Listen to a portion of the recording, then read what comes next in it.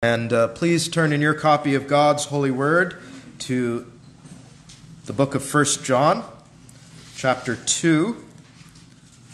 We're going to consider verses 15 through 17 this afternoon to help prepare ourselves for the communion service.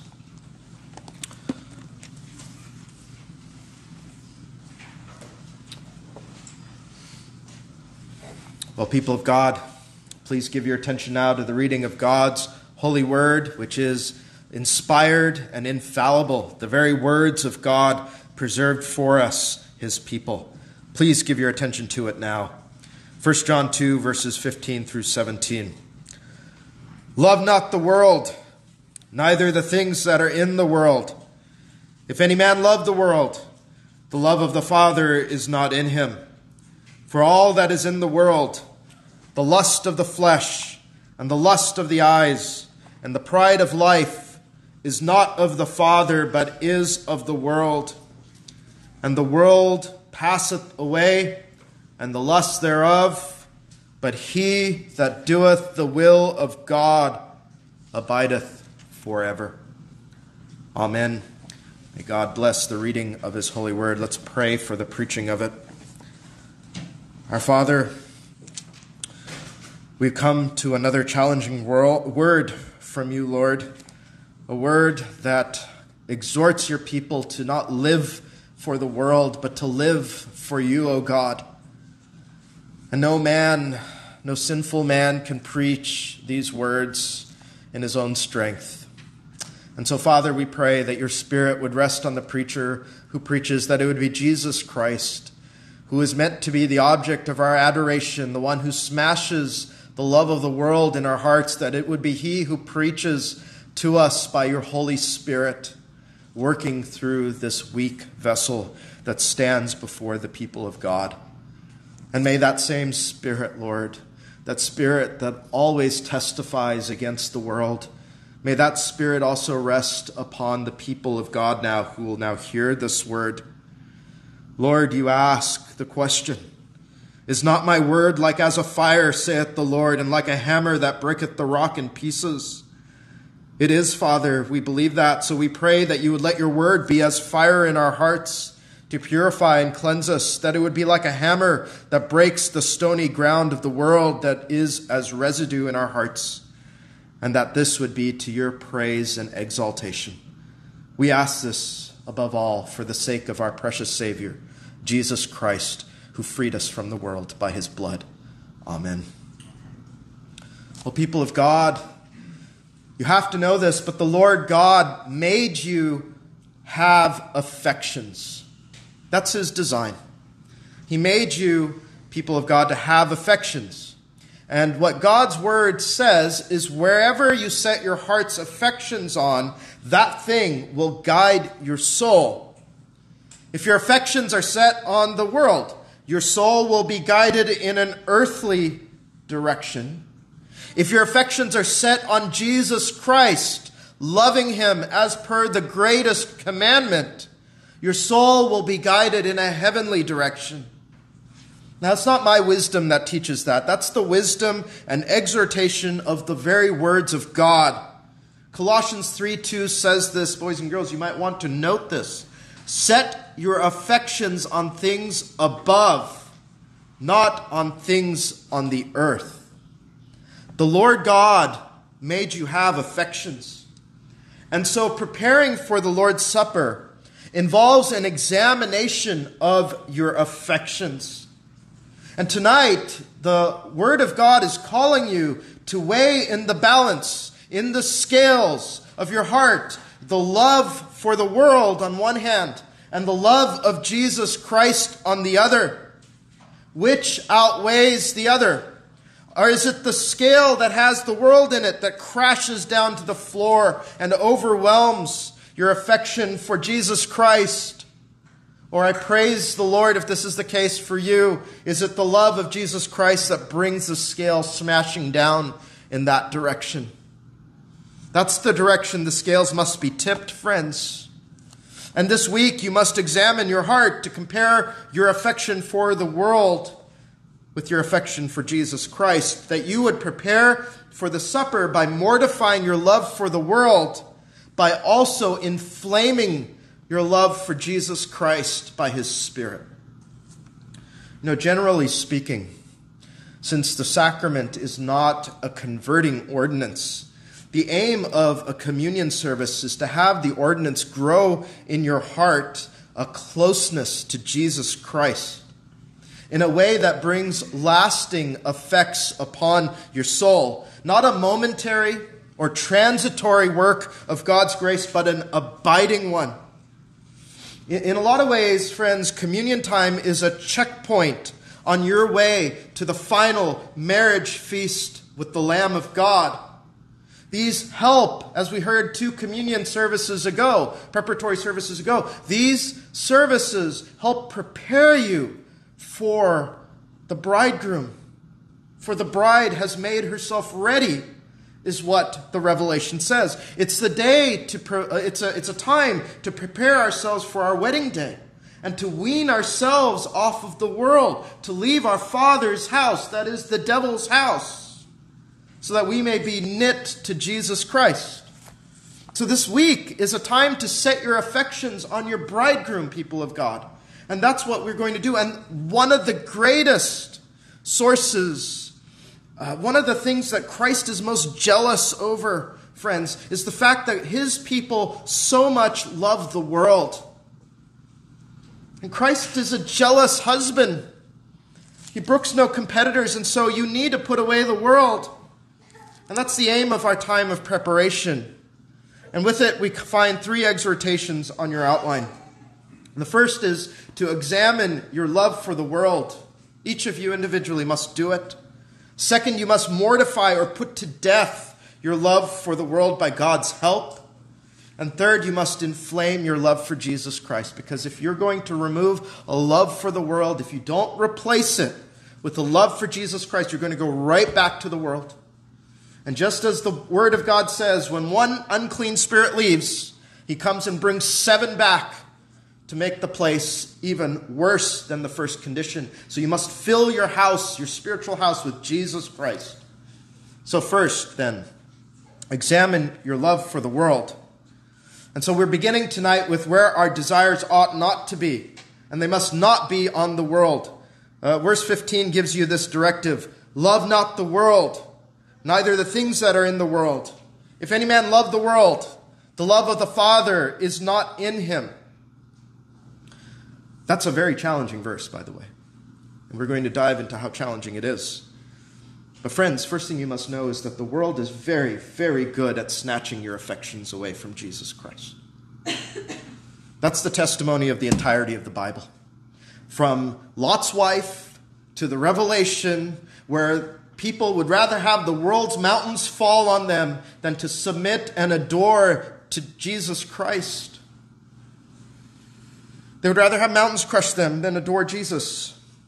And so the apostle here tells us to not love two things in this verse, and they are distinct. First is the world, and second, the things that are in the world. And he meets something very particular on that, and we'll come to that later.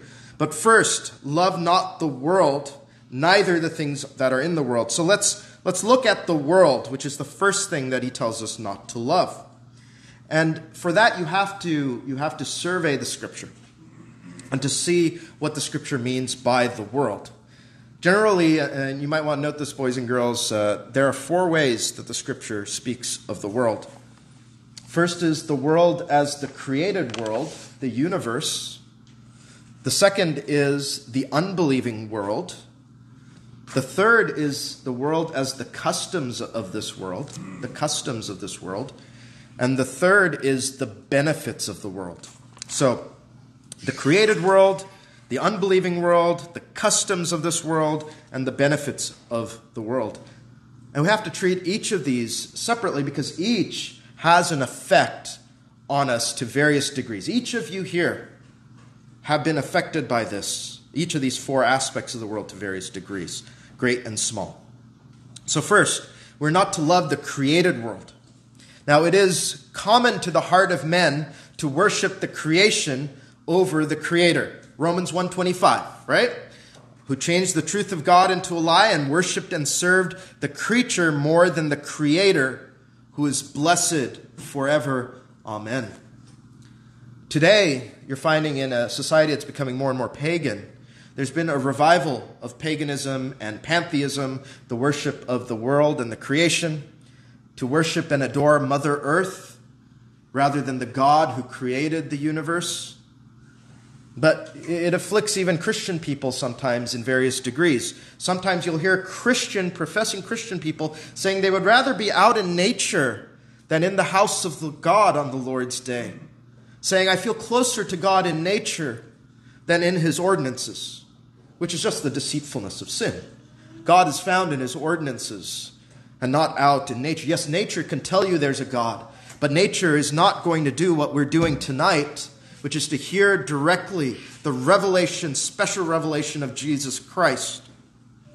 So, even that, there's a sense that you would rather worship and serve the creature over the creator in that. Now, I'm guessing in a congregation like this here at 2:15 p.m., you're probably not tempted by that all that much.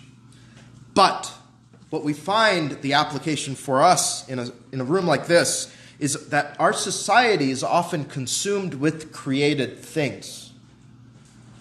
We long for possessions, they consume our thoughts and our minds. And we say, oh, if I could only attain this, or if I could only have such and such, then I would be content then I would be satisfied. Oh, how pleased I would be. Friends, I think if you would look back at your life, you would find that so many of the things that you strove so hard to attain and you were so consumed by that today you find little pleasure or no pleasure in them at all. Junkyards are full of men's treasures, friends, things that they have attained and then thrown away. It's become garbage to them. The truth of a junkyard is this that there is no satisfaction found in serving the creature rather than the creator. And what you have to do this week, then, as you prepare for the supper, is to examine your heart. Find the things of this world that your heart adores, those things that you possess, or those things that you think you want today. And you need to put those affections away. You need to bring them under Christ so that you're not consumed with your thoughts on material and worldly created things. Not more, definitely not more than your thoughts and consumed as they're consumed on Christ. Second, and I can't treat all of these uh, uh, with any real depth, but I think this should be enough to give you a sense. Second is the world as the unbelieving world that is set against Christ. John 15, 19. If you were of the world, Listen to this carefully, friends. If you were of the world, the world would love his own. But because you are not of the world, but I have chosen you out of the world, therefore the world hateth you. There is a natural enmity between the unbelieving world and the Christian. And friends, you are not called to love that world because that world doesn't love you, it hates you. And one of the strangest things in our hearts is that we think that if we would just accommodate them, if we would just bend just a bit away from the decrees of God, that they would just love us. But they hate us, friends. And the only thing that's going to satisfy the unbelieving world is when you become an apostate. Friends, you're not to love that world, and I, I, want to distinguish a bit here because we talked about this this morning. We are called to love the world in a certain sense. You're to love the souls that perish in it. You are to love all men, even your enemies, and to do good to them, right? But not in a way, and this is, the, this is where the care has to be, not in a way that has our affections set on an unbelieving world. Do you see the difference, friends? To not be as Lot's wife to, to love the people of this world, and so much that your love for God is displaced, and you would rather perish with them than to be saved by Jesus Christ. We are to pity them, but not identify with them. You see the difference? Christ says, The world does not love you, but because you love Christ, the world will hate you. So you must not have your desire set on ungodly men and institutions of this world. See, this also has an application to the institutions of this world. Men find a lot of worldly pride in belonging to institutions and identifying with them that are set against Jesus Christ. You know, and I don't, I want to be careful here, and I will be a little careful, I think, but it's a very sad thing to me sometimes, friends, when our flag and its anthem stirs the affections of God's people more than the Word of God read and the Psalms sung. There's something terribly wrong there, friends. If your affection, if that is you, and your love for the world and its institutions has supplanted or, or exceeded your love for Jesus Christ, you have to repent of that. Right? I want to be careful. We honor our institutions as is proper. We render honor to Caesar as is proper for Caesar, but not above our affections for Christ. He is supreme. And I was thinking about this with our weird society that we're in.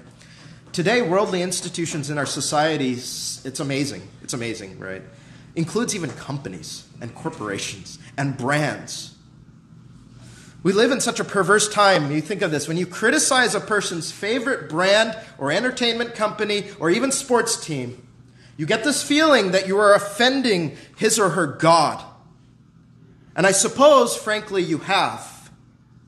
When you identify, when you see them identify so much, that the reason they do that is because their satisfaction is found in the brand or the company, which is a really perverse thing for the Christian. But, friends, that's how deep the hooks of the world have penetrated into our hearts.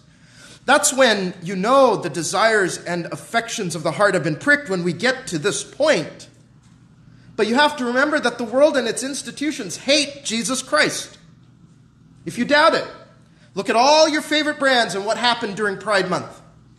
Rainbow flags and logos from all these institutions that so many Christians profess to love.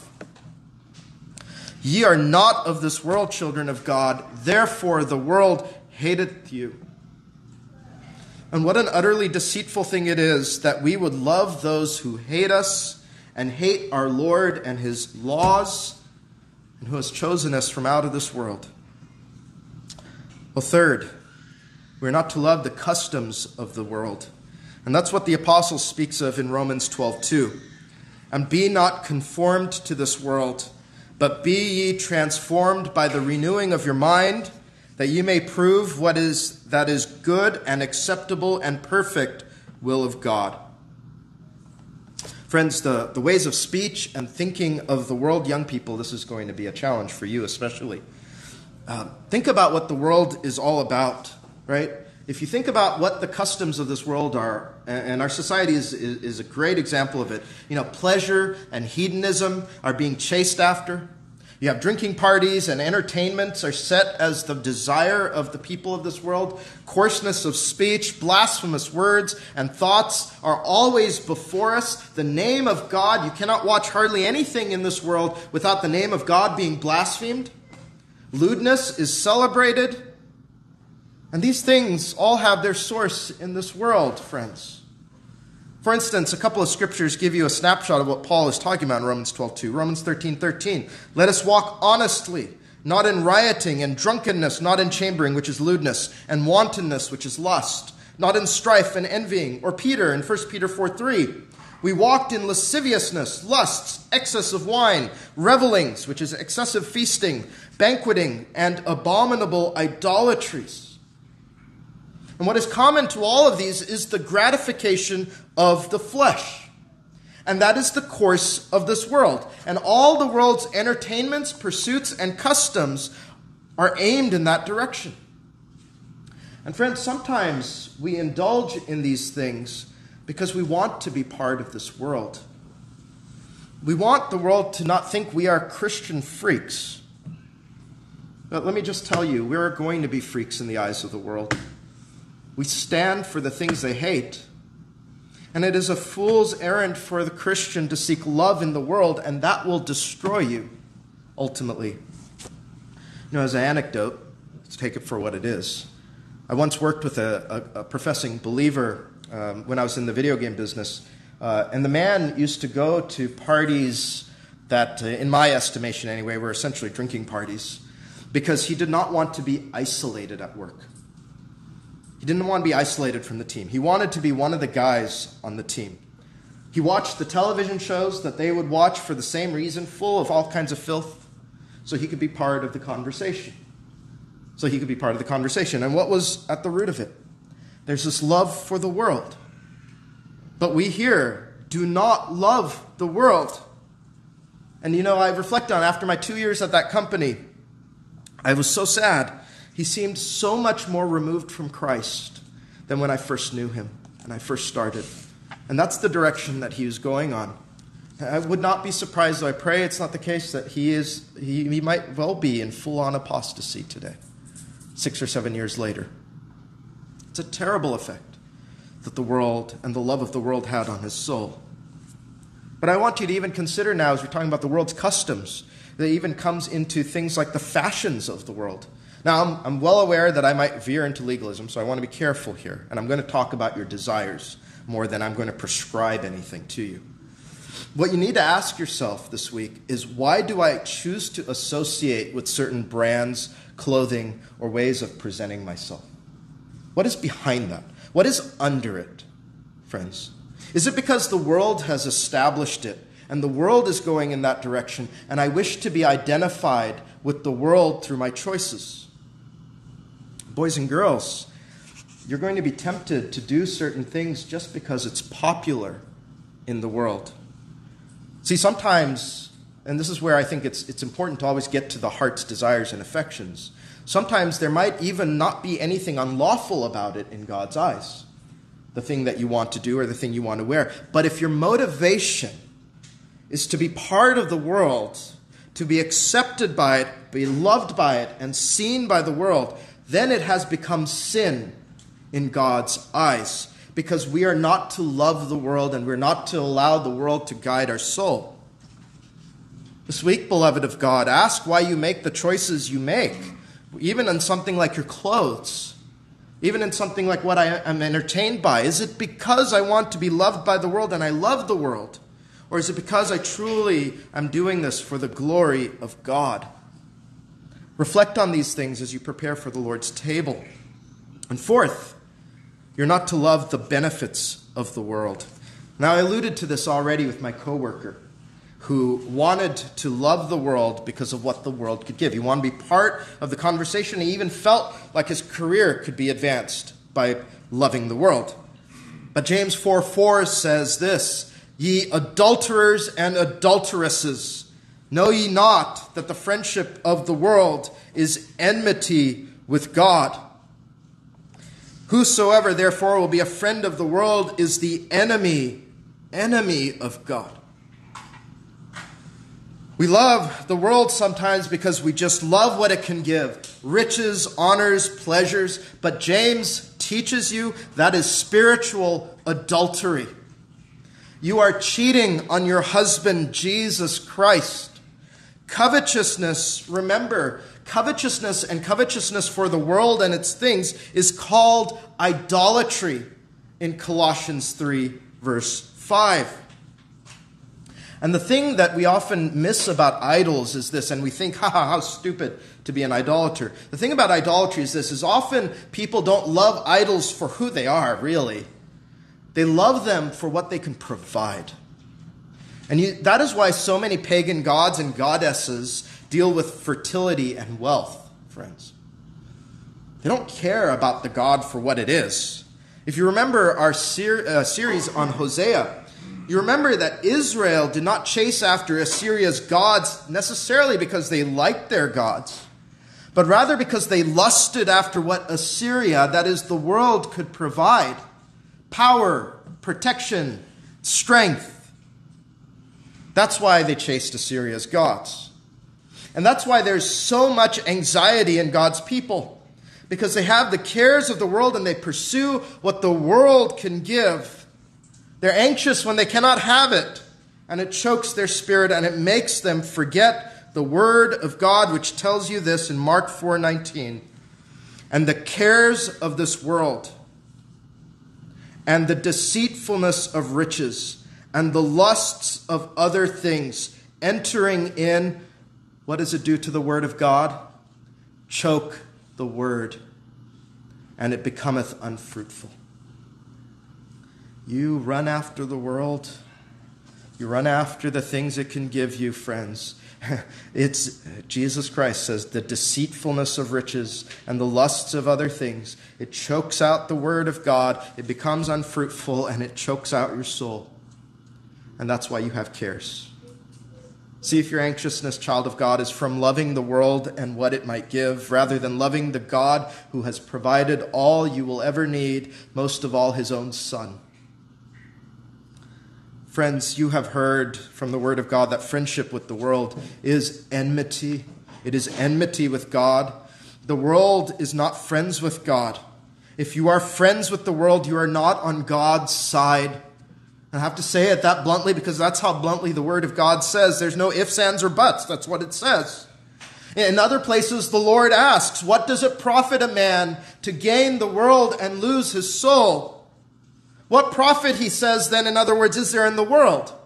There's only misery and there's only death.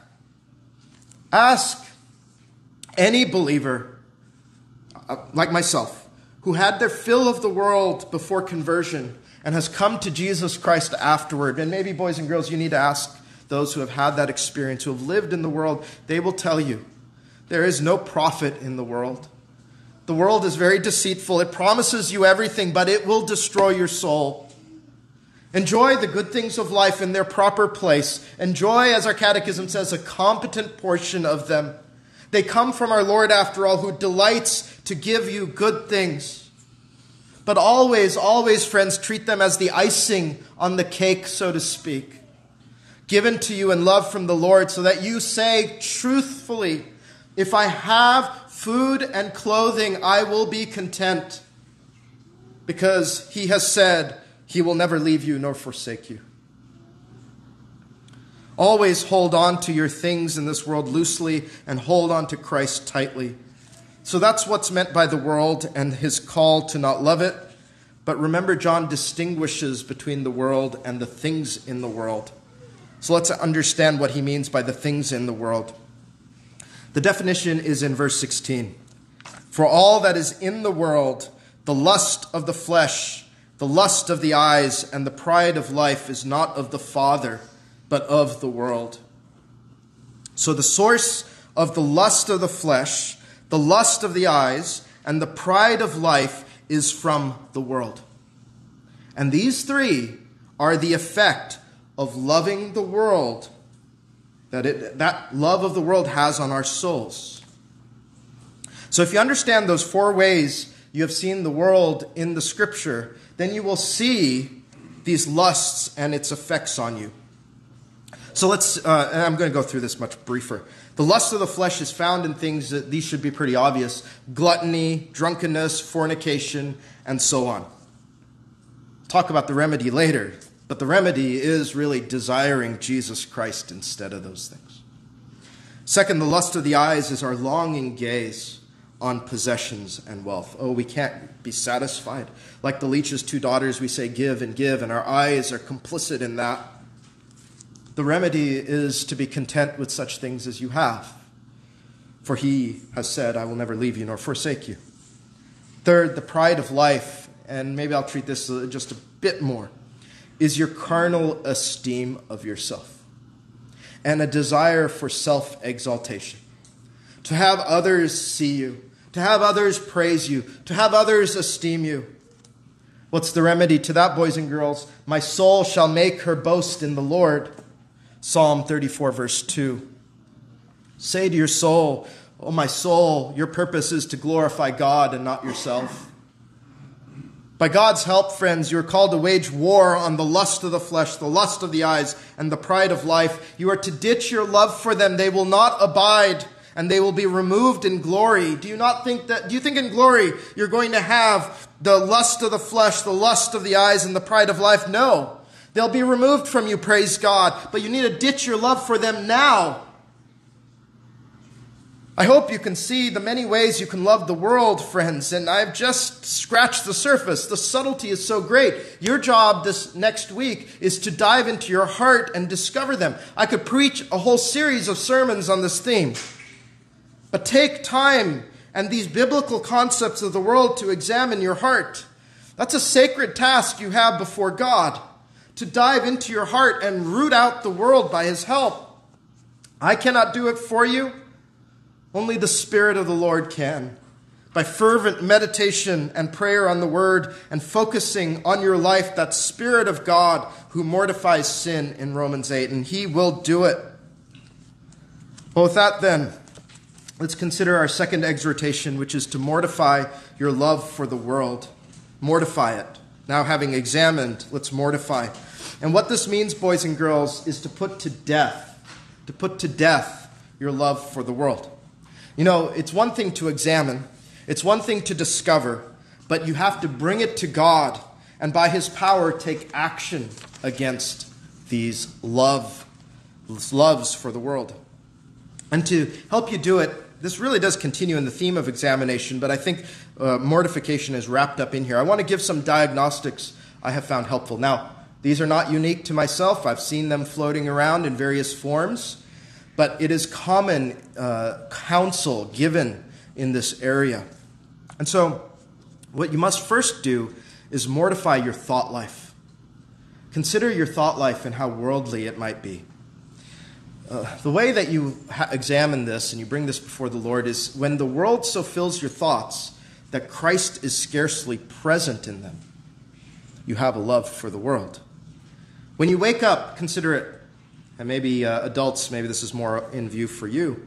When you wake up and you power up your phone and you look not at your Bible, but you look at the world, whether in social media or the news or whatever else, and then you find that you, you, you got too busy because you were so consumed with social media or whatever, or even entertainment, that you find that your time for prayer and the word is, is, is spent and slipped away and you run off to work. Then in the evening, you, you have dinner and you flip on the television or you converse with your friends, and then you become too tired to pray and seek the Lord before bed. And you find that your day has begun with the world and has ended with it and scarcely any time has come to the Lord Jesus Christ. You need to put that to death, friends. And you need to change the course of your day, and you need to co- control your thought life and bring it to subjection to God. And the way you have to do that is to be more constant in His ordinances and the word and prayer, especially. And you must force yourself to speak a word about Jesus Christ to others so that your thoughts of Him are, are strengthened. And if during the day you find you never find yourself praying or thinking on the Lord, that must change. The world has captured your heart and mind and thought life, beloved. So that's your thought life. Second, your conversations, which are connected to it. Now, uh, I think we'll, we'll speak of this in, in another time in another venue, but if your conversations, especially on this, this is a great barometer, on this, the Lord's Day, are full of the world, friends then you know your love for the world is overshadowing your love for Christ. How often is the Savior and the things of God in your conversations? And how often is the world? What really excites you in conversation? What is it that you cannot wait to speak of, especially to your brothers and sisters? That thing has captured your heart. I'm often convicted each day on how little I spoke with others of the Lord how easy it is to be drawn into conversations about worldly things. Resolve, friends, that your conversations will be filled with Christ and the things of God, and mortify any areas where your conversations are over indexed in the world's direction. Third, this, uh, this is something, especially this week, I think would be very helpful. Ask yourself if you could let go of the things of this world. Could I and would I give up anything of the world for the sake of following the Lord? This morning, we saw Peter and the disciples forsook all to follow Jesus. Sometimes we love the world so much that if Jesus said, Follow me, we would say no. If he said, Forsake all, we would say no, because we won't give up on the world. Consider all the things that you love in this world. Think of those things that your, your mind and heart go to. And ask yourself this week if Jesus Christ said, drop it, would you? Here's some examples to spur some mortifying activity this week. If the Lord said, You will have to give up that movie or television show, would you? If the Lord said, You will have to give up that device or that computer system, would you? If the Lord said, You have to give up that friendship with that ungodly person, would you? If the Lord said, You will have to give up that substance or that food, would you? Or would you say, It is too much, Lord? Friends, even lawful things in this world can take the place of God. Isn't that the truth with sins like gluttony and drunkenness? Lawful things that you have found have taken the place of God. Never be content in, in your life to examine your heart and say, you know what, that thing is lawful. I don't have to think about it ever. If it has mastery over you and you cannot let it go, it has become sinful. Put it away. Fourth, discontentment. Discontentment with what God has given you shows your love for the world. If you are upset that you do not have all the things that the world has to offer, or especially if you are tormented by the fact that another person has something you do not, you are loving the world and the things in the world, friends. Discontentment really comes when you do not realize the treasure you have in Jesus Christ.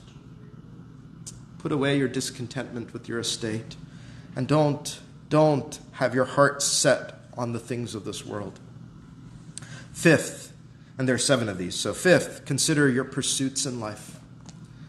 Whatever you pursue with greater enjoyment, whatever you pursue more zealously than the Lord and the things of God, whatever delights you in this world more than Jesus Christ, has become idolatrous to you, and those pursuits must be put in their proper place.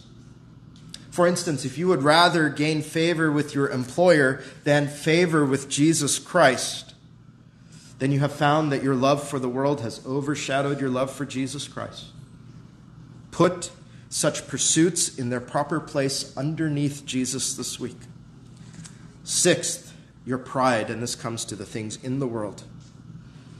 If you are constantly finding that your pride is wounded, friend, when you take slight and offense to everything someone says against you or about you, especially when it comes to godly rebuke, then, friend, you are a worldling.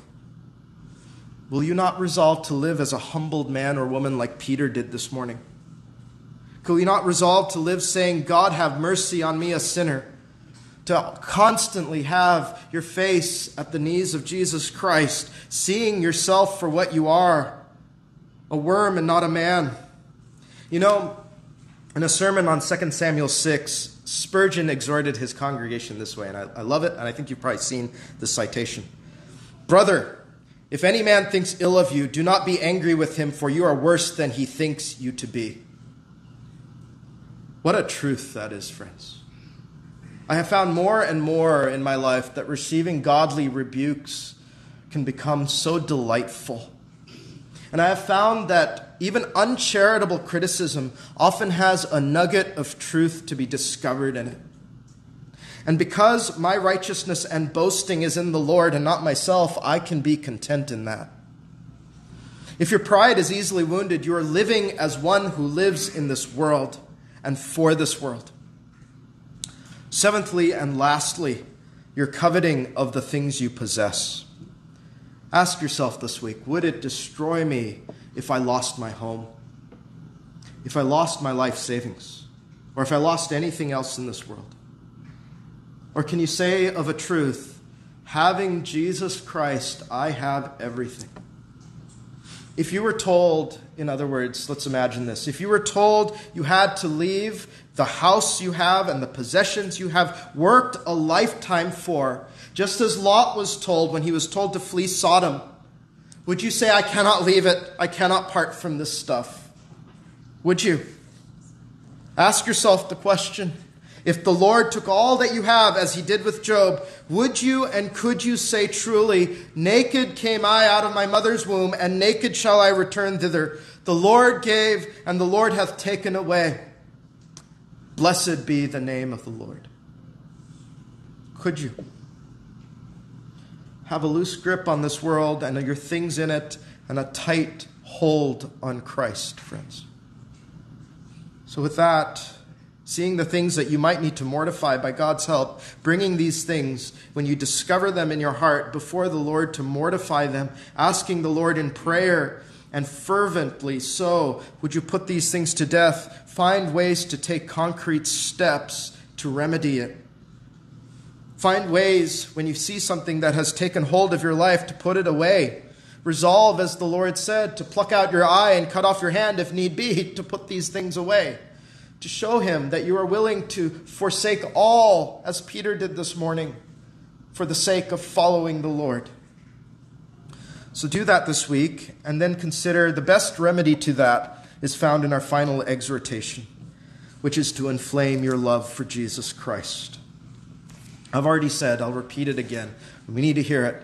To prepare for the supper, you must weigh your heart in the balance. On one side of the scale is going to be the world, and on the other side is meant to be your love for Jesus Christ on the scales. And the pursuit you must have this week, by God's help, is to make your love for Jesus outweigh your love for the world and the things of this world. Resoundingly so, so that his side of the balance comes crashing down and overturns anything in the world. And you have to know that if you're converted, if you're converted and born again from above, implanted in you is a love for Jesus Christ. And what we need to do is we need to nurture it. We need to fan the flames of that love so that it grows more and more, to make it burn more brightly. And that's something so few of us do. That our affections for Him would grow to burn up the affections that we have for this world. We often fail in our spiritual duty in that we seek to mortify our affection for sin, but do not replace it with an affection for Jesus Christ and a pursuit of righteousness. I'll remind you again, Jesus said that if you send out an unclean spirit, it will return with seven more, even more wicked in Matthew 12. And so, when you cast out and you mortify, you must replace what you have cut away with more of Christ to fill yourself up with Him. The other reason for this, I've considered pastorally, the other reason to always be doing these two things in tandem, mortifying sin and inflaming the love of Christ, is that examining your heart is very, very hard, and it's a very distasteful thing to our flesh. We don't like doing it because being confronted by how far we fall short of the glory of God is difficult. I know it is. That's the pride of life, after all. And that's why you do not often want to do it. But if you would do it in view that you would come to love Jesus Christ more, your spirit would be spurred on. So when you mortify your affections for the world, look to inflame your affection for Christ. And really, in a lot of ways, what sweeter duty could you come up with than to cultivate love and affection for Him? It's your God given duty, after all, isn't it? What's the greatest commandment? Thou shalt love the Lord thy God with all thy heart, with all thy soul, and with all thy mind. I can't be comprehensive today in the ways that you can grow in love for Jesus, but with communion coming up, it is always appropriate to focus your affections on Him who suffered so greatly for you. When you think of the supper, will you not remember the scripture? The cup of blessing which we bless, is it not the communion of the blood of Christ? The bread which we break, is it not the communion of the body of Christ? 1 Corinthians 10, verse 16. And what Paul is reminding you is that the sacramental actions of blessing and breaking are in view of Christ's sufferings. What was his suffering and what was his death for, you who believe? What do you know what his suffering was for? Do you know what his death was for? God supplies the answer. God himself says, For the transgression of my people was he stricken. His almighty anger and wrath at my sin was there at the cross in my broken Savior. His almighty love and mercy for me, the sinner, was there at the cross in my broken Savior as well. And I am meant to grow in my love for my Savior with such thoughts, saying, But God forbid that I should glory save in the cross of our Lord Jesus Christ, by whom the world is crucified unto me, and I unto the world.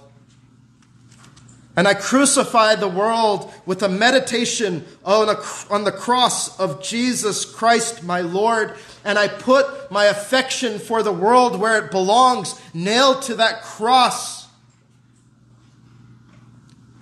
Think this week on Christ's suffering and his suffering question from the 22nd Psalm My God, my God, why hast thou forsaken me?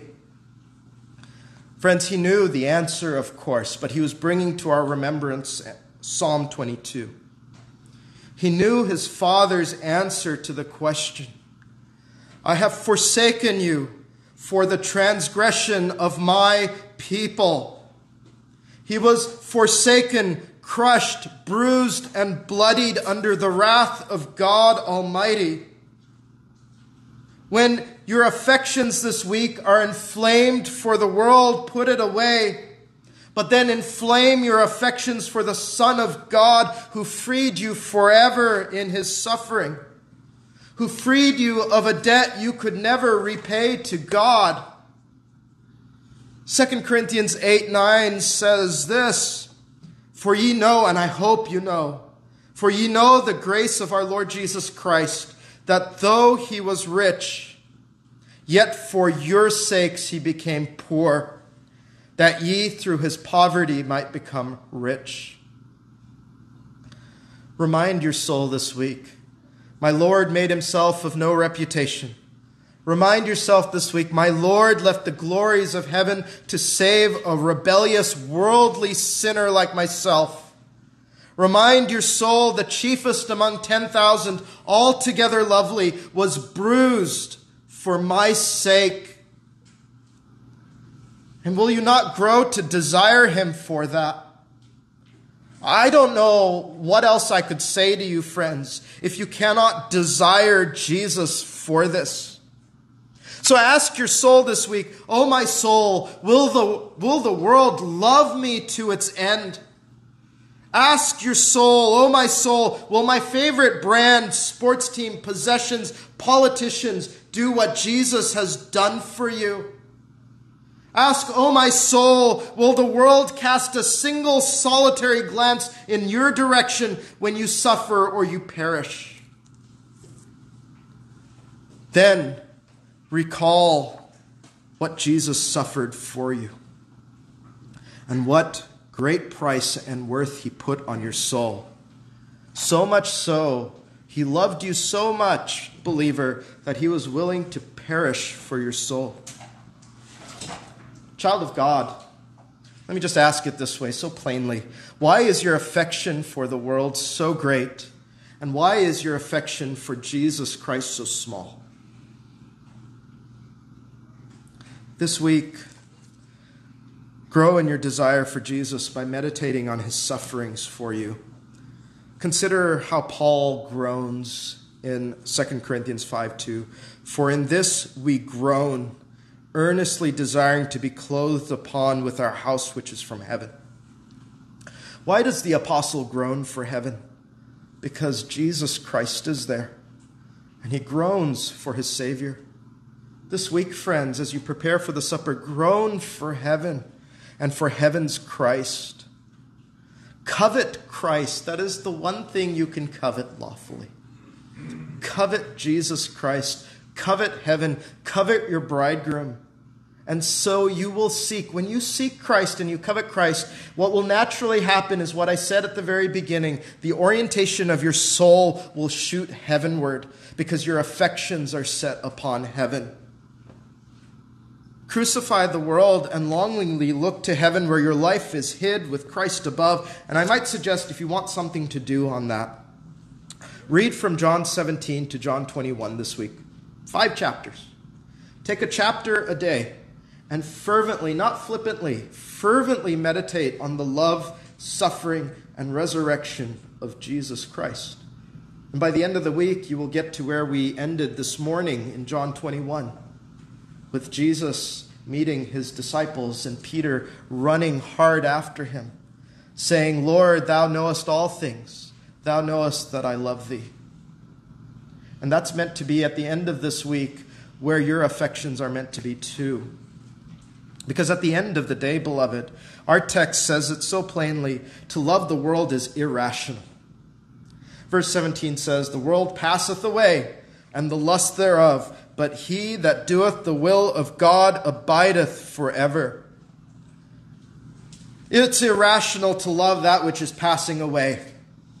But the love of Christ will cause you to live forever. This, this afternoon in our Old Testament reading, we heard this But I found him whom my soul loveth. I held him and would not let him go. Believer, if you are a believer, you have found him whom your soul loveth, and you're to hold fast to him and loosen that death grip you have on the world, which will lead you to death. Let go of Sodom once and for all this week and cling to Christ and remember his love. And may the remembrance of his love cause you to return love to him in return. May it be inflamed into a great flame that consumes the residual love of the world that is in your heart. Do that and prepare to meet he whom your soul loveth at the communion table, having put away the love of the world. Amen. Please rise for prayer.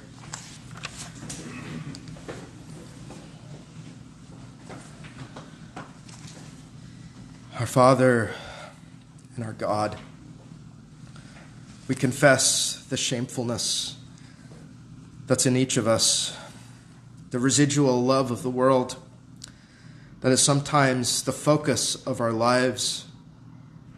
Not sometimes, often is the focus of our lives. Oh Lord, I cannot do it, not myself, but your Spirit, Lord. Would your Spirit put to death the love of the world, and would He inflame our love for Jesus Christ? So that we would say that we would forsake all just to follow him, just to have him, just to be near him, just to flee to him and cling to him no matter what, that we would cling to him as so many of the desperate souls in the Bible clung to him. And would we remember also, would you cause us to remember, Father, that he that comes to Jesus Christ, he will in no wise cast off. Lord, help us love the Savior who was crushed for our iniquities. Our iniquities were our own, and He owned them. And what a awful thing it is then to not love in return such a precious Savior. Cause us to put away our love for the world. Cause us to long for heaven, where we will live forever with Jesus Christ, our blessed bridegroom.